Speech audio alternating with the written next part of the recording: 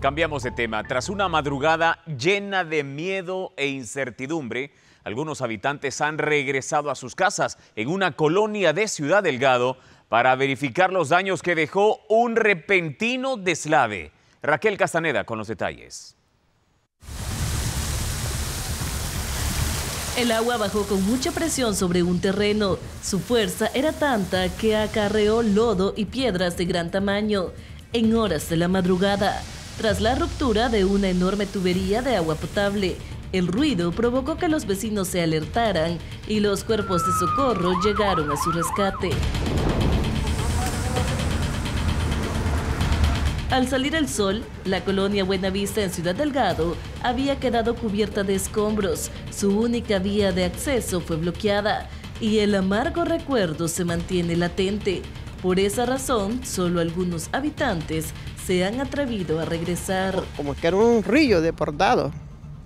Ahí sentíamos. Entonces todos los se levantaron, lleno y todo. Y aquí ellos este, apalearon aquí, ¿va? porque para acá venía el agua. Se hubiera metido si ellos no apalean para allá. Sí, miedo sí, quizás, porque no sabían qué es lo que ocurría.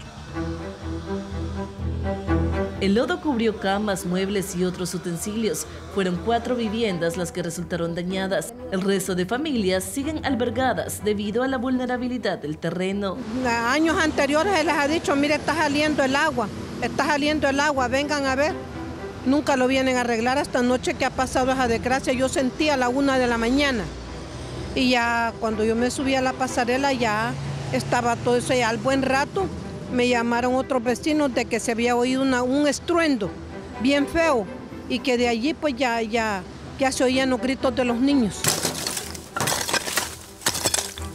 Mientras tanto, el Ministerio de Obras Públicas trabaja en el sitio para retirar los escombros. Al mismo tiempo, la Administración Nacional de Acueductos y Alcantarillados, ANDA,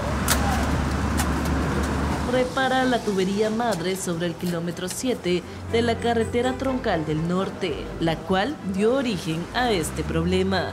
Con imágenes de Daniel Acevedo, Raquel Castaneda, Noticias 4 Visión.